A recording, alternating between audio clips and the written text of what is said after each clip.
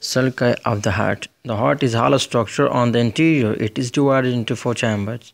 These divisions create grooves on the surface of the heart. These are known as sulci.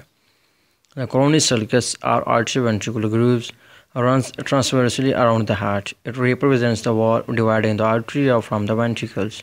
The sinus contain important vasculature such as the right coronary artery.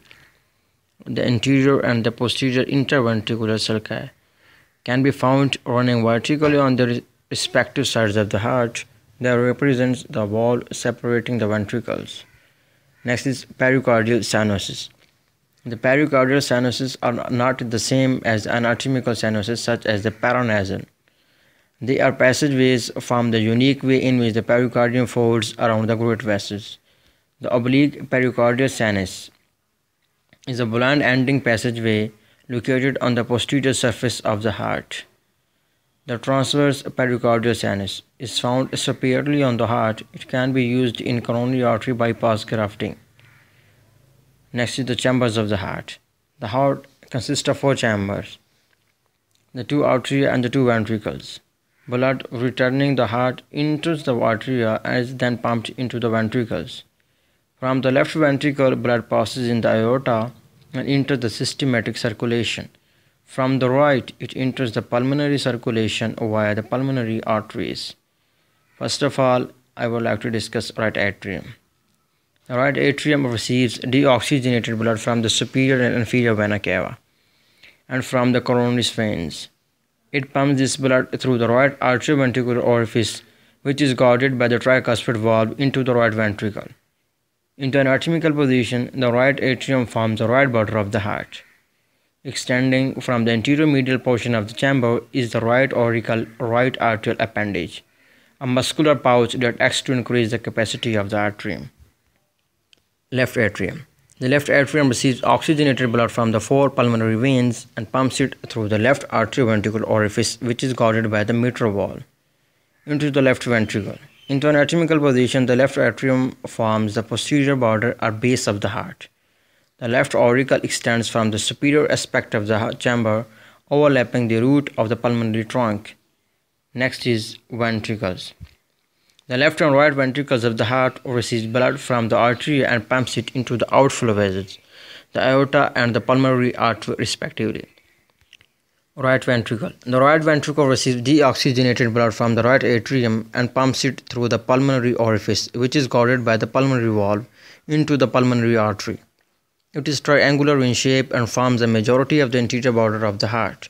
The right ventricle can be divided into an inflow and outflow portion, which are separated by the muscle ridge known as supraventricular crest.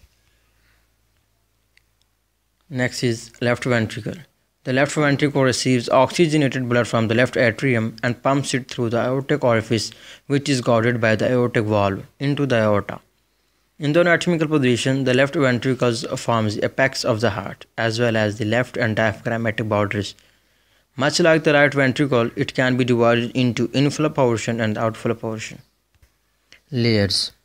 The first is epicardium. The epicardium is the outermost layer of the heart formed by the visceral layer of the pericardium.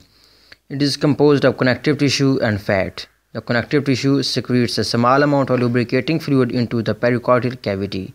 In addition to the connective tissue and fat, the pericardium is lined by on its outer surface by simple squamous epithelial cells. Next is myocardium. The myocardium is composed of cardiac muscle and is involuntary striated muscle. The myocardium is responsible for the contractions of the heart. Endocardium. The innermost layer of the cardiac wall is known as endocardium. It lines the cavities and valves of the heart. Structurally, the endocardium is comprised of loose connective tissue and simple squamous epithelial tissue. It is similar in its composition to the endothelium which lines inside the blood vessels. The walls of heart. The valves of heart are structures which ensure blood flows in only one direction. They are composed of connective tissue and endocardium. The endocardium is the inner layer of the heart. There are four valves of the heart, which are divided into two categories atrioventricular valves, the tricuspid valve, and the mitral or bicuspid valve. They are located between the artery and the corresponding ventricle. Next is semilunar valves. The pulmonary valve and the aortic valve are the part of the semilunar valves. They are located between the ventricles and their corresponding artery and regulate the flow of blood leaving the heart.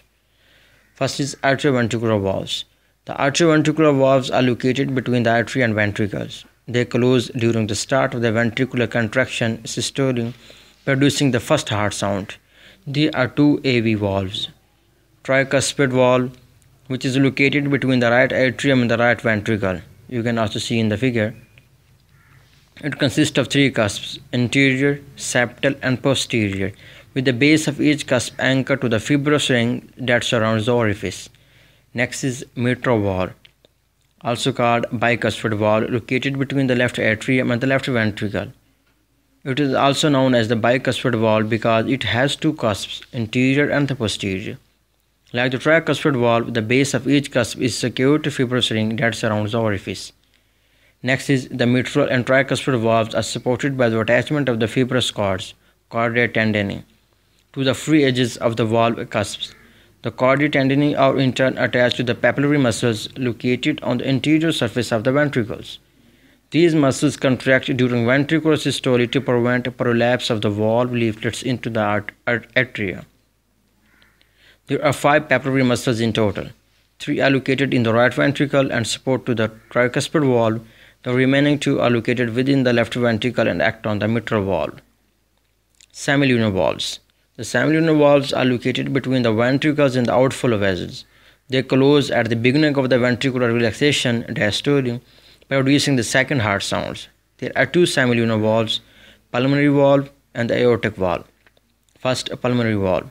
Located between the right ventricle and the pulmonary trunk, the valve consists of three cusps, left, right, and anterior, named by their position in the fetus before the heart undergoes rotation. Aortic valve located between the left ventricle and ascending aorta aortic orifice. The aortic valve consists of three cusps, right, left, and posterior. The left and right aortic sinuses mark the origin of the left and right coronary arteries. As blood recoils during ventricular diastole, it fills the aortic sinuses and enters the coronary arteries to supply the myocardium. So in the end, I would like to discuss some MCQs which are related to the anatomy of the heart. So first MCQ is which of the following has thickest wall? Second, blood enters into the heart because of muscles of Third is the opening of right atrium into the right ventricle is guarded by mitral valve is present between. And the last one question identify the correct sequence of blood flow through the chambers of the heart. Thanks for watching.